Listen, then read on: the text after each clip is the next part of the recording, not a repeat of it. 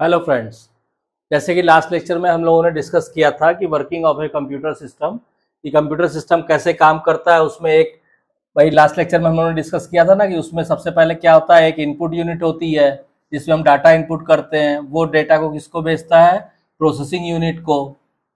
Processing ठीक है? और प्रोसेसिंग यूनिट के बाद प्रोसेसिंग यूनिट प्रोसेस करके या जो भी हमें डाटा पे जो भी ऑपरेशन करना है वो करके जो रिज़ल्ट है, वो आउटपुट यूनिट को देता है। ये चीज़ हम लोगों ने लास्ट लेक्चर में पढ़ा था। अब आज हम लोग इसको डिस्कस करेंगे कि इनपुट यूनिट क्या होती है और इनका क्या काम होता है। तो देखिए इनपुट यूनिट या इनपुट डिवाइसेस इनपुट डिवाइसेस का काम ये होता है just to input the data input the data to a computer to a computer system. या आप कह सकते हैं कि टू सेंड द डेटा और इसको आप इजी लैंग्वेज में समझ सकते हैं कि टू सेंड द डेटा ठीक है? To processing unit to send the data to processing unit ये काम होता है बेसिकली इनपुट डिवाइसेस का। तो देखिए इनपुट डिवाइसेस कई तरह की होती हैं। कई से तो आप काफ़ी फैमिलियर भी हैं। जैसे सबसे पहले हम लोग बात करते हैं कि जो सबसे वेरी वेल नोन डिवाइस है, वो है आपका पहला क्या है? कीबोर्ड कीबोर्ड कीबोर्ड आप सब लोगों ने देखा होगा। कीबोर्ड जनरली जो है most widely used input device है। इसके थ्रू हम डेटा वगैरह जो है इनपुट करते हैं कंप्यूटर को। तो लेकिन कीबोर्ड में क्या है? कीबोर्ड भी दो तरह के होते हैं। ये आप ध्यान रखिएगा। एक होता है सीरियल कीबोर्ड, ऐसे आप लिख लो, और एक होता है पैरेलल कीबोर्ड। ठीक है? सीरियल कीबोर्ड क्या होता है कि which sends the data bit by bit in a serial fashion इसका मतलब क्या हुआ? There is only one line that carries data from keyboard to the computer मतलब सीरियल कीबोर्ड, वो कीबोर्ड हुआ, जो जैसे आप जानते हैं, कंप्यूटर केवल वन ज़ीरो की फॉर्म समझता है। ठीक है, अभी इसको और आगे भी डिस्कस करेंगे। तो जैसे मान लीजिए हमने कीबोर्ड से one zero, one one zero enter किया तो वो एक एक करके, पहले वन को भेजेगा प्रोसेसिंग यूनिट में, फिर इस वन को भेजेगा, फिर इस वन को भेजेगा, फिर इसको फिर इसको। तो ये होता है सीरियल कीबोर्ड। पैरेलल कीबोर्ड क्या होता है? कि which sends all the bits of the data simultaneously parallel keyboard अगर आप यूज़ कर रहे हैं और मान लीजिए आपने one zero one one zero enter किया तो वो एक साथ एट ए टाइम ये सारा डेटा प्रोसेसिंग यूनिट को भेज देगा। तो ये डिफरेंस होता है सीरियल कीबोर्ड में और पैरेलल कीबोर्ड में। ठीक है?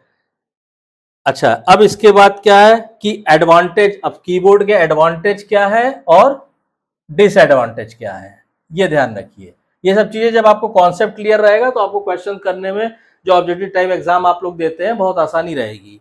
एडवांटेज क्या है कीबोर्ड का? भाई, सबसे बड़ा एडवांटेज तो ये है कि जब आप कीबोर्ड से की टाइप करते हैं तो रिलायबिलिटी रिलायबिलिटी क्योंकि आप एंटर कर रहे हैं डेटा को तो reliability of inputting data text और नंबर चाहे आप टेक्स्ट टाइप कर रहे हैं एबीसीडी और चाहे आप नंबर टाइप कर रहे हैं ज़ीरो वन टू से लेकर और ज़ीरो ज़ीरो से लेकर नाइन तक. तो रिलायबल रहता है कीबोर्ड से एंटर करना. सेकंड क्या है? कि कीबोर्ड जो है अवेलेबल है आज की डेट में availability in various format various format मतलब आपको अलग अलग फॉर्मेट में भी डेटा एंटर करना है, हिंदी में इंग्लिश में, पंजाबी में, गुजराती में फॉरेन लैंग्वेजेस में। तो आपके पास अलग अलग फॉर्मेट्स में कीबोर्ड अवेलेबल है। तो पहली चीज़ तो ये हो गई। दूसरी चीज़ क्या है? डिसएडवांटेज की हम लोग बात करें। तो डिसएडवांटेज क्या है? डिसएडवांटेज कीबोर्ड का ये है, पहला तो ये है कि भाई इससे अगर आपको पिक्चर्स है ग्राफिक्स है, और भी सारी डायग्राम है वॉयस है वीडियो है, ये सारी चीज़ें आप कीबोर्ड से इनपुट नहीं कर सकते। पिक्चर हो गया ग्राफिक्स हो गया वॉयस है वीडियो है डायग्राम है, ये सारी चीज़ें आप कीबोर्ड से इनपुट नहीं कर सकते। तो एक तो ये हो गया। दूसरा क्या है कि इसकी जो वर्किंग है, वो स्लो होती है। ऑब्वियस सी बात है। भाई कीबोर्ड से आप जितनी तेज़ी से आप टाइप कर पाएँगे या ह्यूमन बॉडी कोई भी ह्यूमन है, वो जितनी तेज़ी से डाटा एंटर कर पाएगा, वही तो स्पीड रहेगी। और कंप्यूटर की प्रोसेसिंग की जो स्पीड होती है, उससे लाखों गुने ज़्यादा होती है। तो इससे आप कह सकते हैं कि इससे जो डेटा इनपुट होता है, बहुत स्लो होता है। तीसरा क्या है कि it is not much useful for enlarging और changing sizes of windows on screen screen पे जो विंडो की साइज़ आती है, मान लीजिए आपका ये मॉनिटर है। ठीक है? अब स्क्रीन साइज़ मान लीजिए इतनी है। सपोज़ कीजिए। ठीक? तो इस साइज़ को आप बढ़ा या घटा नहीं सकते हैं कीबोर्ड से। ठीक? और लास्ट क्या है? Very slow while moving windows और अदर ऑब्जेक्ट अगर मूविंग विंडो है या मूविंग विंडो मतलब जैसे मान लीजिए आप किसी मूविंग ऑब्जेक्ट की आपको फ़ोटो इनपुट करनी है वीडियो बनाना है, उसमें कीबोर्ड जो है बहुत स्लो है। ठीक है? तो ये सर तो फिर इसका फिर सॉल्यूशन क्या है? इसका सॉल्यूशन नेक्स्ट जो पहली डिवाइस हमारी क्या हो गई? कीबोर्ड हो गई। नेक्स्ट हमारा आ गया माउस पहला हम लोग डिस्कस कर चुके कीबोर्ड ठीक? अब सेकंड हम लोग बात करने जा रहे हैं माउस की। तो माउस क्या होता है? माउस को हम बोलते हैं ग्राफिकल यूज़र इंटरफेस मतलब माउस किस प्रिंसिपल पे काम करता है? माउस काम करता है जी यू आई जी यू आई इसको बोलते हैं ग्राफिकल यूज़र इंटरफेस ठीक है? तो माउस क्या होता है कि माउस जो है जीवाई ग्राफिकल यूज़र इंटरफेस मतलब a mouse also includes one or more buttons ठीक है to allow users to interact with GUI आप देखते हैं माउस में आपने देखा होगा, जैसे मान लीजिए सपोज़ कीजिए, इस तरह का माउस है आपका, ये वायर है।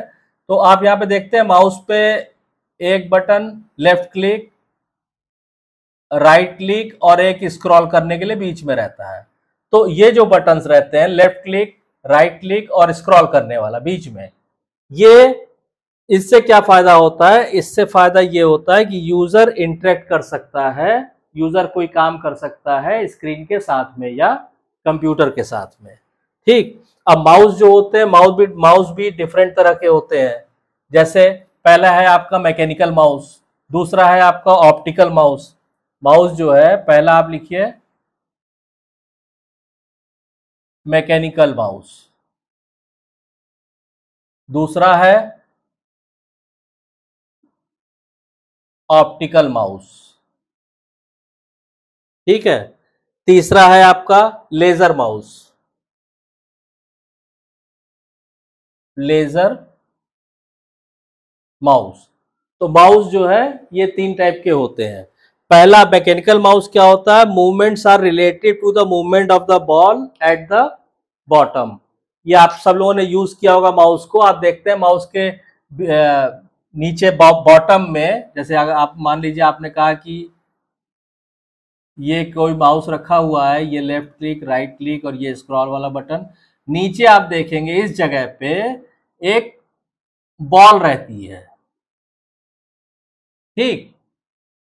तो जब आप माउस पैड पे या टेबल पे माउस को मूव कराते हैं तो उसके मूवमेंट पे माउस का कर्सर मूव होता है। तो इसीलिए इसको बोलते हैं मैकेनिकल माउस क्यों?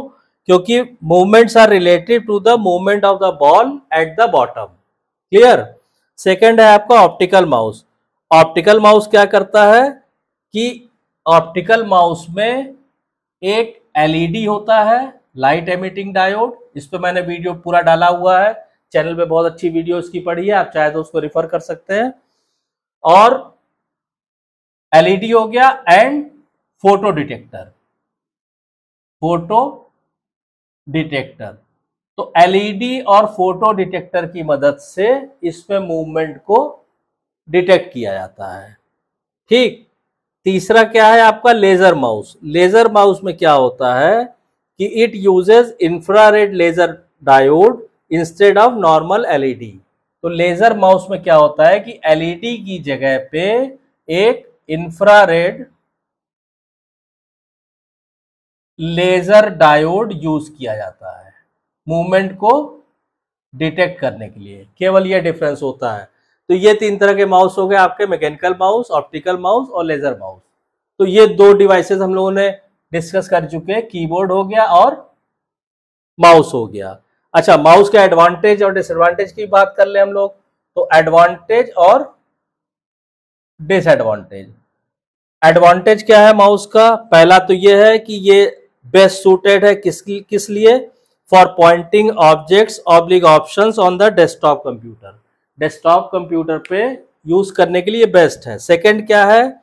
Most familiar and easy to use pointing device. सबसे ज़्यादा फैमिलियर डिवाइस है ये। डिसएडवांटेज क्या है? डिसएडवांटेज ये कि माउस को यूज़ करने के लिए आपको एक फ्लैट सरफेस चाहिए होता है। चाहे आप माउस पैड का यूज़ करें, चाहे आपकी टेबल टॉप जो है वो फ्लैट सरफेस हो, you have to have a flat surface to use this mouse. अगर फ्लैट सरफेस अवेलेबल नहीं है तो आप माउस को नहीं यूज़ कर सकते।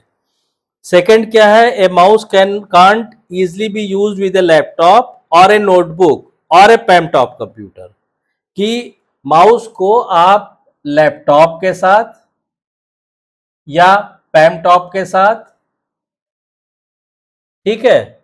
और या तीसरा हो गया आपका नोटबुक के साथ आप मतलब यूज़ नहीं कर सकते या आप ये कह लिए यूज़ करना कन्वीनियंट नहीं है। तो ये इसके डिसएडवांटेज हैं। तो ये दो तरह की इनपुट डिवाइसेस हम लोगों ने आज डिस्कस की, अभी और भी आगे जॉयस्टिक है स्कैनर है और तमाम तरह की डिवाइसेस हैं, उसको हम लोग नेक्स्ट लेक्चर में डिस्कस करेंगे। तो आई होप कि आपको ये क्लियर हो गया होगा। अगर आपको वीडियो कंटेंट पसंद आ रहा है तो प्लीज़ वीडियो को शेयर कीजिए लाइक कीजिए। और अगर आपको कुछ भी पूछना है तो प्लीज़ कमेंट लाइन में कमेंट लाइन करके पूछिए। और चैनल पे आप नया हैं तो चैनल को सब्सक्राइब कीजिए। Thank you